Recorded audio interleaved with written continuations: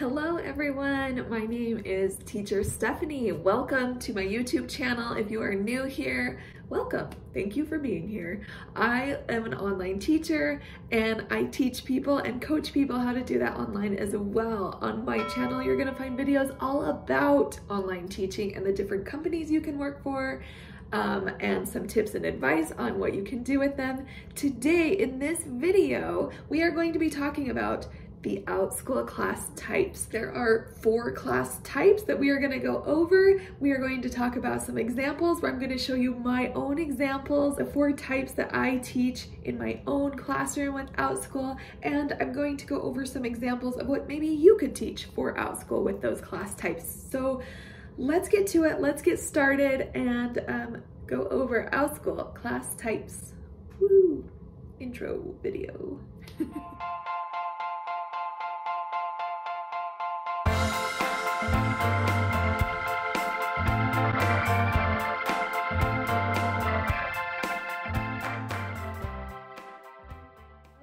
like I said, my name is Stephanie. I have been an online teacher for three years now, and I also help coach teachers to become online teachers like myself. So if this is something that you want to do, please reach out to me. You can email me. I have links down in the description box with different resources for you.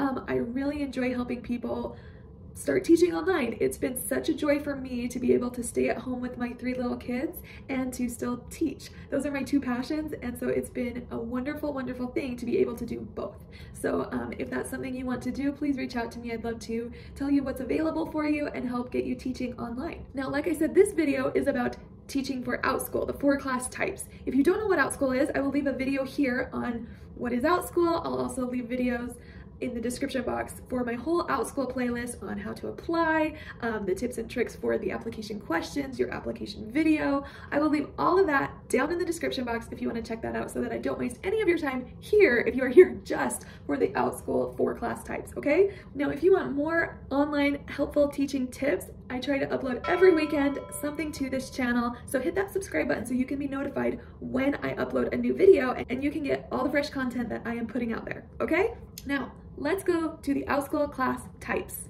This is not the subject that you are teaching. I wanna be clear here. This is not um, the subjects that you are teaching. This is not English, art, social studies, science.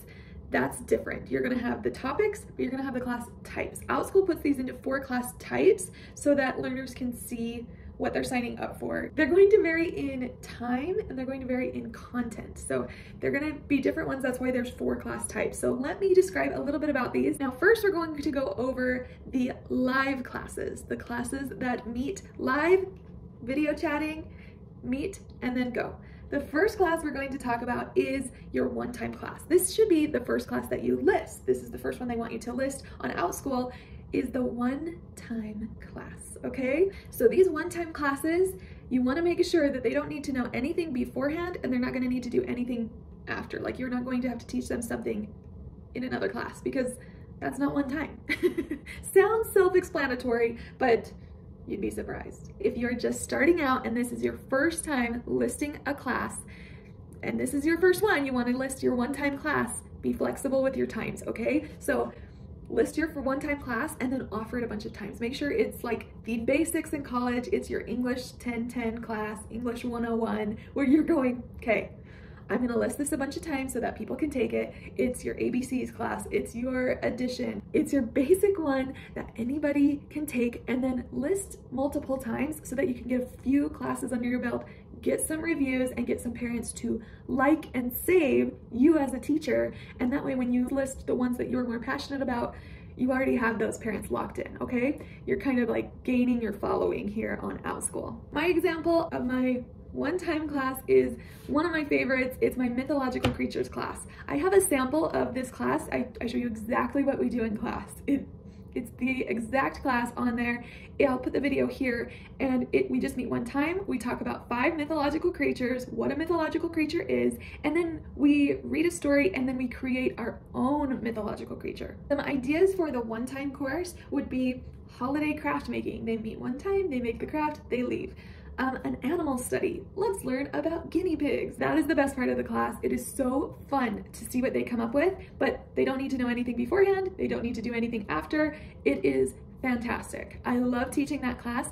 And the great thing about these one-time classes is that they can fill in the gaps in your schedule. If you have courses that go Monday through Thursday, but you have Fridays open, you can put the one-time class there. So one-time classes are great for that and great to just do a quick listing, get it approved, and start teaching. Now I wanna mention, if you're having any trouble with creating your one-time classes, creating any of these classes, I offer coaching services where we do a consultation. We sit down and talk about your ideas, what you want to teach, what you're thinking of for some activities, and then we go and I create you a lesson plan. I give it to you and you can submit that to OutSchool. So if you're having any sort of trouble with that, coming up with what you want to teach, even some activities on what you can do to teach that, please come to me and schedule a consultation at teachingstephanie.com. I would love, love, love to help you out there. So please don't hesitate to ask and I would love to sit down with you and schedule that out.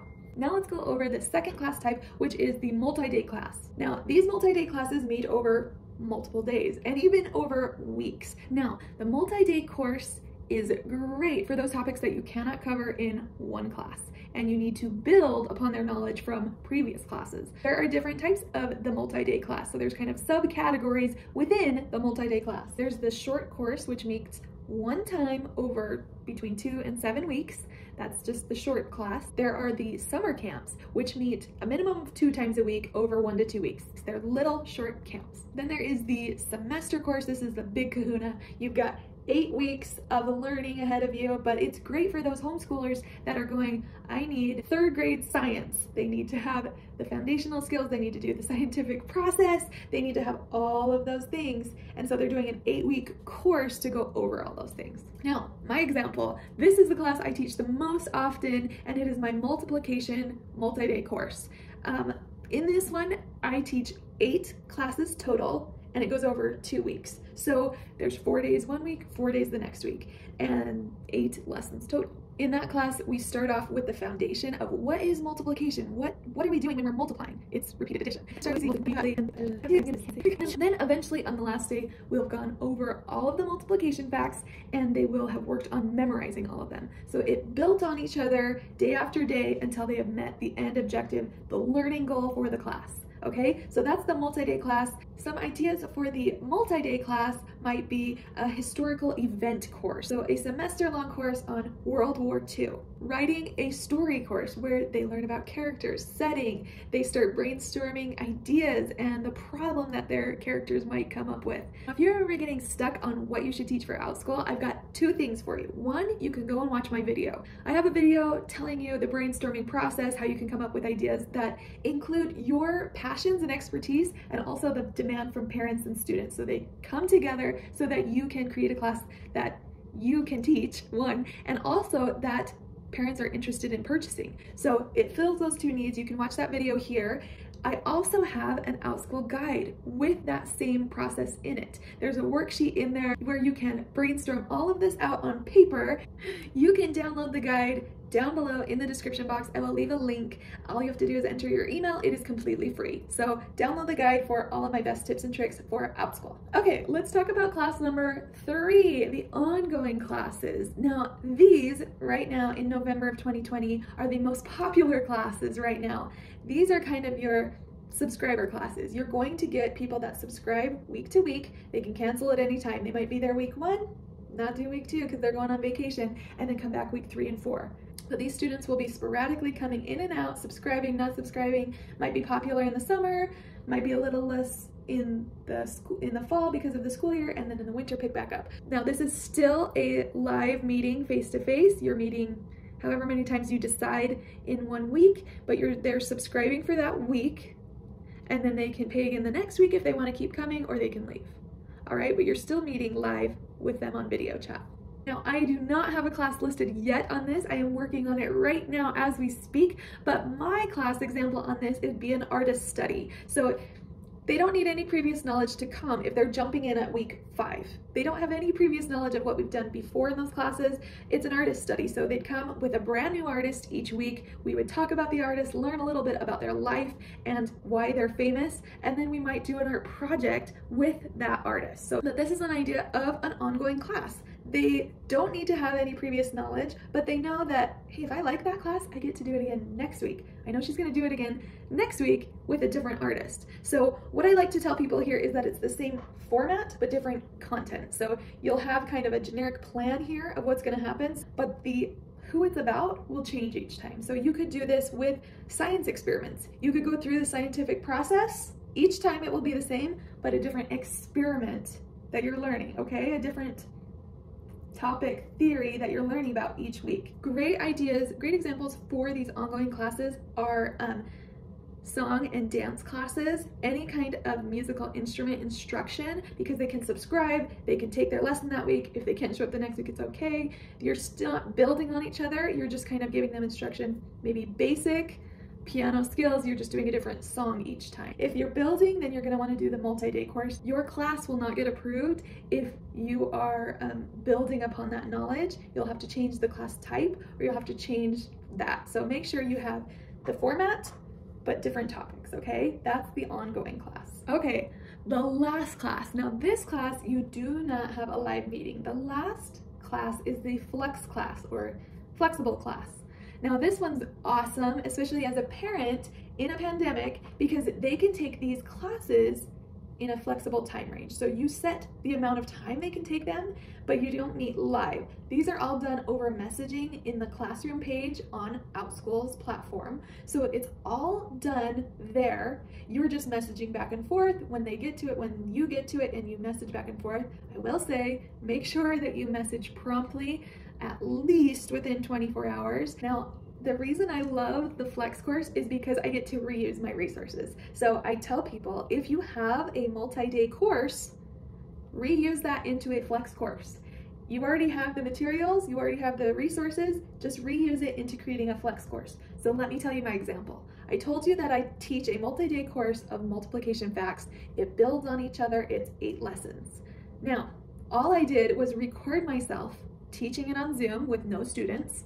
I recorded myself teaching those same eight lessons. I gave them the same workbook and I turned it into a flex course so that they can watch those videos anytime they need to within that week. So instead of day one, it's week one and they get the whole week to watch the video and complete the assignment. Reusing those resources is the best use of your time. You've already got a class and you've worked out the kinks, you know how to teach it. Just record yourself, make it into a flex class, and then post it. The great thing for me is that I can have a lot of these classes going at the same time and I'm not needing to physically schedule them and be there live in my classroom.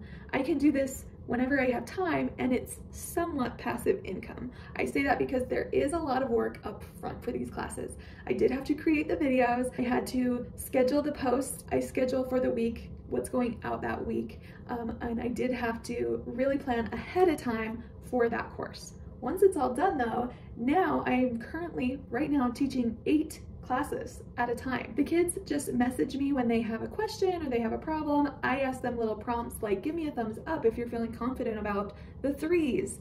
And they give me a little thumbs up. I do little things like that for interaction. But for the most part, they have a question, I hurry an email back, answered, done. I love the flex classes. Now, let me give you some flexible class ideas. Okay, a great one here would be, so reading skills. If you're going over some reading skills, again, recycle that material, use it in a flex class. Have them do it on their own pace a novel study. Now, these are great because they're going to be reading on their own and they can do it on their own time and then they can check in with the video and go, what did you think about this? They can answer questions after they've read it on their own schedule. I love the novel study with the Flex class. Another great one, coding computer skills. The best thing you can do with the Flex class is to recycle the material, material you already have and make it into a flex class. Okay, those are the four class types. I hope that you enjoyed this video. If you did, please give it a thumbs up, a like, and be sure to subscribe so that you can be notified when I put out more content for online teachers. I hope you can find the fun in online teaching. I'm teacher Stephanie, and I will see you next time as we're talking about pricing and scheduling your OutSchool classes. And as my hero, Mr. Rogers says, let's make the most of this beautiful day. Goodbye you so much for watching this video. If you want to see more videos of balancing teaching and motherhood, go check out my channel. I will see you in the classroom.